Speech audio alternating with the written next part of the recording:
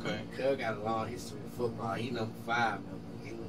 Oh yeah, he got highlights and shit out there too. Yeah, I played. I gotta go. That's fire. Yeah, I played all the way up. One of them kids like park ball, football. Okay. Go to middle school, play middle school ball. High school, play high school ball. Yeah. Okay. Okay. I was on.